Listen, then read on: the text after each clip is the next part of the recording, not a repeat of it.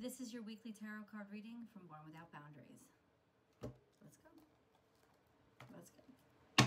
There's always an extended reading. The link is below.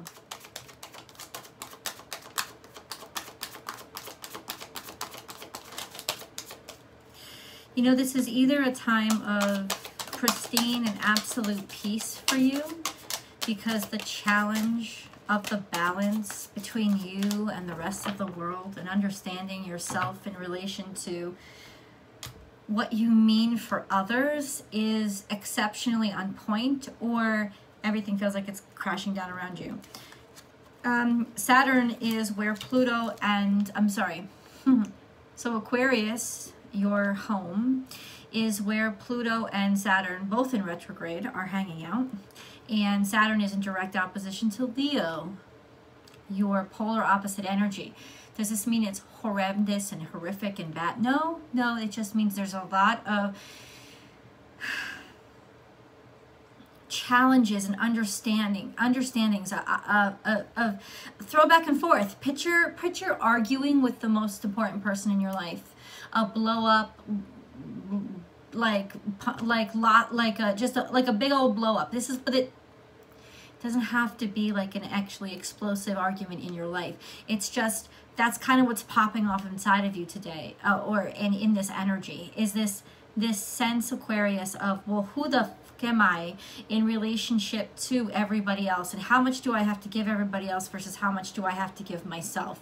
It is that cosmic war between the house of community and the house of self, which is the um, the house of Leo and the house of Aquarius. And and and this is when it sort of really escalated because Saturn is a very strong energy and doesn't like to take no for an answer, and Leo is a the sun is a very um, uh, is a very powerful energy that that wants to be wants to be able to expand and grow and trusted with that expansion and growth. And it's just like, well, how much do I trust?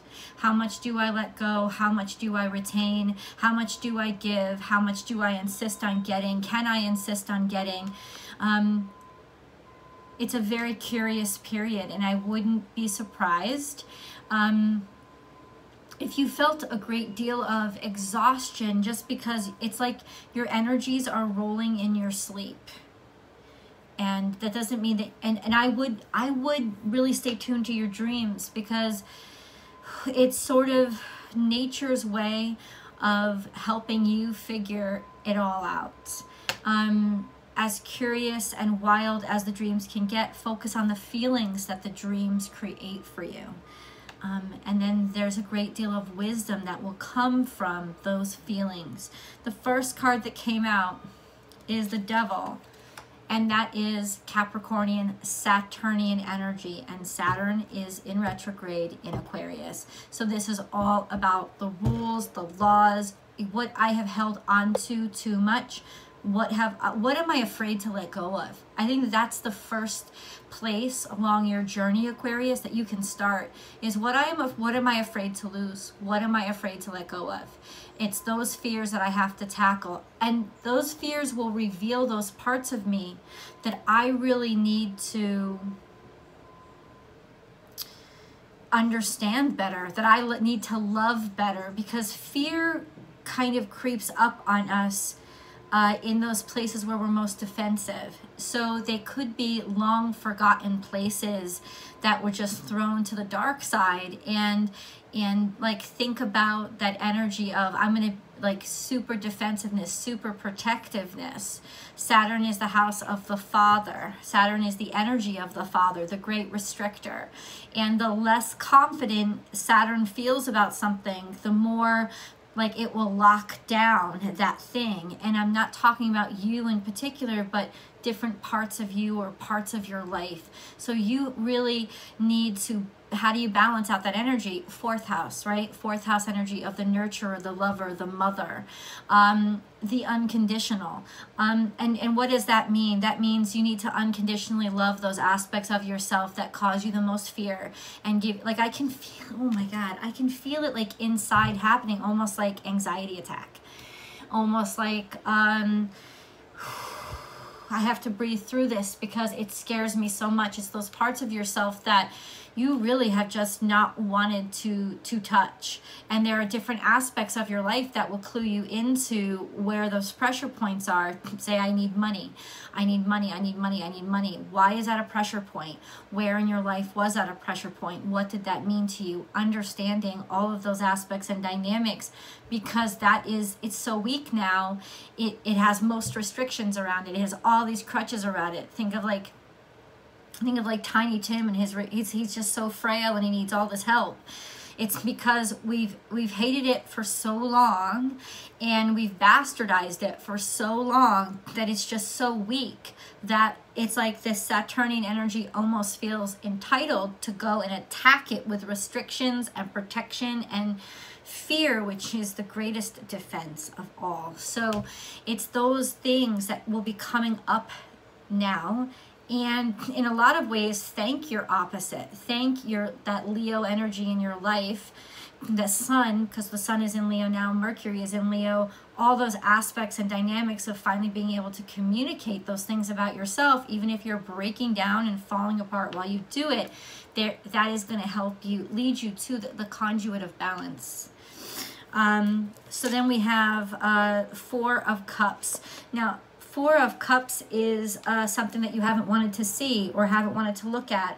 Uh, maybe there's a little bit of disinterest, but Four of Cups upright is usually saying it's not disinterest. I'm not ready. I'm not prepared to.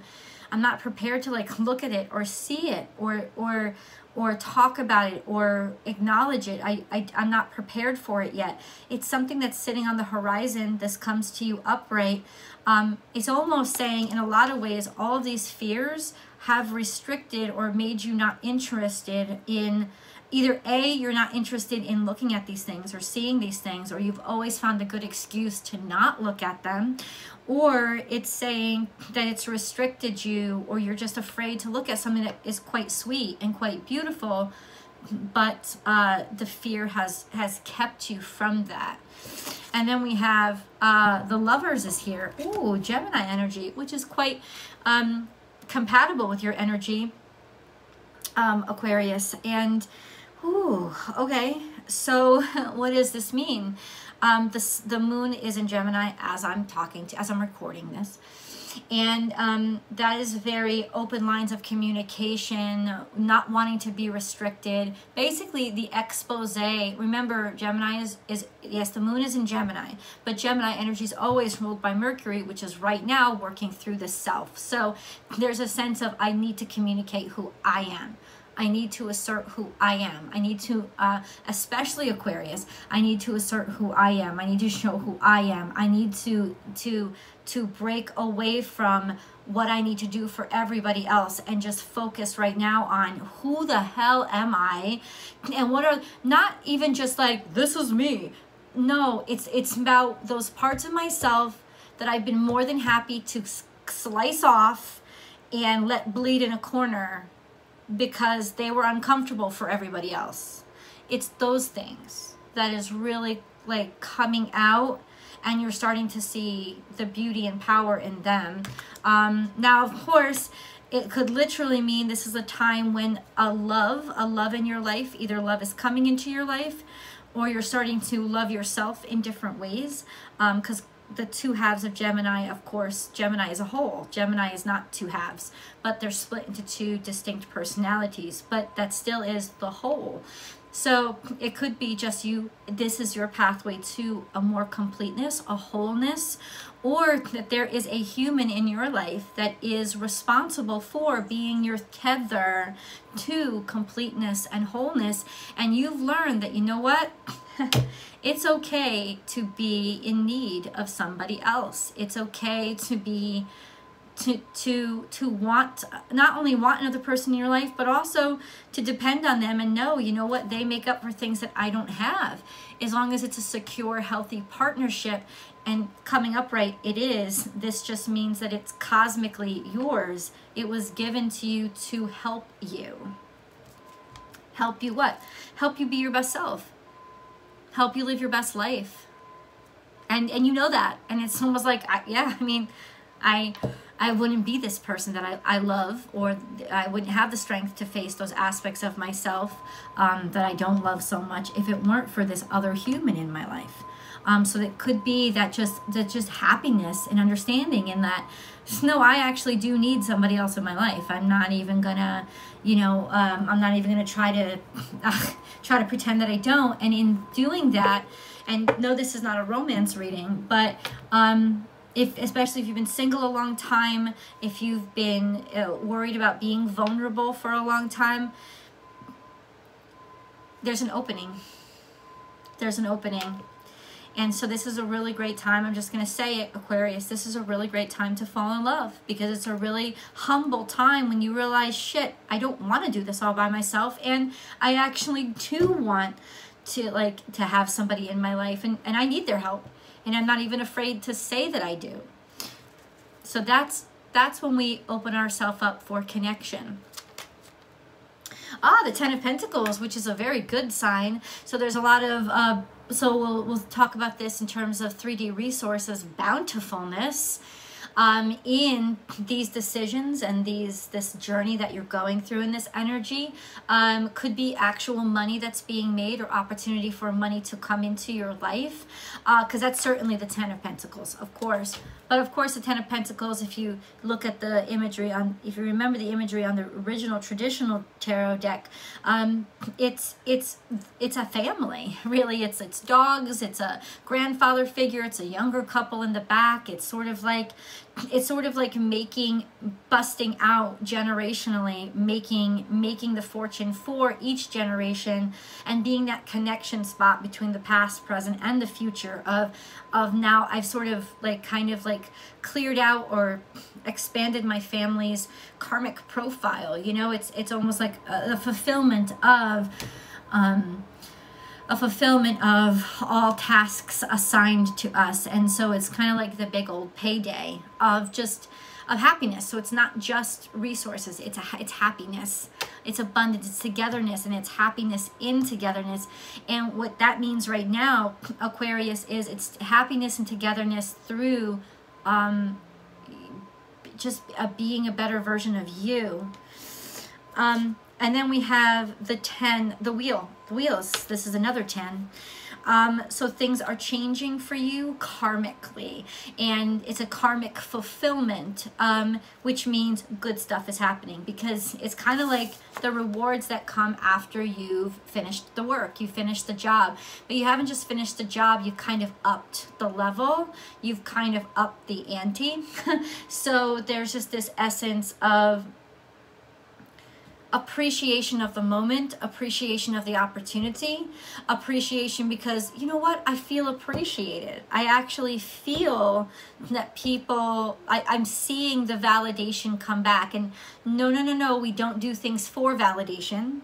Um, and if us, I'll let you know this right now, had you been inspired to do all of these things and make all these changes simply for validation, you would not be experiencing the level of success that you're getting back from this. This means that you followed your heart. Karma, this motherfucker right here, only rewards you when you follow your heart. It, there's no other way. There's really no other way. Karma, uh, like, like, he's not a nice, let's look at, he's not a nice guy, right? So, um, I, and I say he because Saturn, Saturnian energy. Um, he, he, he doesn't just get, he's not a Mr. Handout thing, you know, he's just, he's just not. So the only ways that you'll be bountiful are the ways that, holy crap, no matter what he did, no matter what he tried to do to restrict you, you stayed in your God space. And you, you please know God in whatever way you understand or know God. I'm not trying to preach a Bible to you or any religion. I'm just saying you stayed in your truth and your heart space. And that's why this reflects a karmic kind of benchmark or complete fulfillment because you are in the God space now. Leo, the sun, which is direct opposition, of course. Saturn is checking in. Saturn is in Aquarius and saying, how is Aquarius done? Have they have they been true to themselves? Have they have they uh, been able to balance how much they give how much they are who they are who they want to be who they know they are and who they share versus you know what they will show to the world? Have they been able to be true to their their purpose in life rather than kind of defer to what everybody else wants them to be or intentionally um, oppose what everybody else wants them to be which is sort of aquarius's um, default Aquarius's default is I'm just not going to be anything that the crowd wants me to be. I'm going to go. I'm going to rebel because you know it's that Uranian energy of of uh, I'm going to rebel. I'm going to do things different. I'm going to I'm going to be my own person. But this is the realization, the actualization of the real self, the true self that isn't influenced by the need to fit in, and is not influenced by the need to stand out. Is just influenced by truth because that's how you really stand out and that's how you're really unique. Because remember, I'm not going to do it because everybody else is doing it. That's just as influenced by the crowd as I'm going to do it because everybody else is doing it. It's not like people think they're rebelling. They're not. They're they're they're still letting the crowd make decisions for them. This is that truth space, what I call the God space, Aquarius, of um of of when you're just like it's not about the crowd it's not about them at all it's about i've had the courage to listen to even those parts of me that scare me and here here it is like this is my divine uh, purpose right this is my purpose in life aquarians have a struggle constantly with letting what's out there, the crowd, impact them too much. Usually in that, well, I'll do it, I'll do things differently kind of way. But it's just not about that, is it? It's really, really true balanced Aquarian energy is about the greater good, the greater good through individual understanding and responsibility, not uh, disregarding it or or um, uh, putting because I mean think of I didn't I didn't make this up guys. Uh, I think of Socrates think of Plato and the Republic. I, I always remember that lesson and I thought it was an exceptional lesson. If you read the Republic you'll see that the conclusion they come to after these oh Socrates drove me crazy because there was always a why there was always a why there was always a why. And if you've taken a philosophy class you know there is always a why there's always another question. And it's just what those questions the thoughts the questions inspire that is why philosophy is so valuable. And but then they actually came to a conclusion. A just society which is aquarian energy is founded upon a just the just individual which is leo energy. And that is that cosmic ugh, balance and battle that you're that the cosmos is raging in right now. So personally there can be a lot of like tumultuous energy that's floating around you right now in order to bang out all those aspects that are not real and to crack open the cages of all those aspects of you that are real that were maybe put aside because there's there's fear involved. Fear is, um, excuse me, I'm sorry. Oh, allergies. Um, uh, fear is that greatest um, of captors and limiters. And that's why um, we have that energy attached to Saturn because he really that Saturnian energy really does work in limitations and fear. And that's why it's a malefic energy as opposed to a benefic energy because it it takes and restricts and limits and it threatens as opposed to nurtures and gives and heals and and but I have to say the cosmic balance is it, we need them both so look at those aspects of yourself in this energy that restrict you or that you feel restrict you that you feel aren't aren't good enough or you know and that maybe you haven't wanted to even look at you haven't been interested in, in looking at because like why would i? Because they're still a part of you. And they're they're they're still a part of you and something something needs love right now. And it can be that somebody else outside of you is that person that can that will show you love and show love to those aspects and dynamics of you that you are most afraid of. And that is actually what inspires this togetherness and this abundance and prosperity through connection um, I'm going to continue this reading over in the extended. I hope that you'll join me. The link is below. Thank you, Aquarius.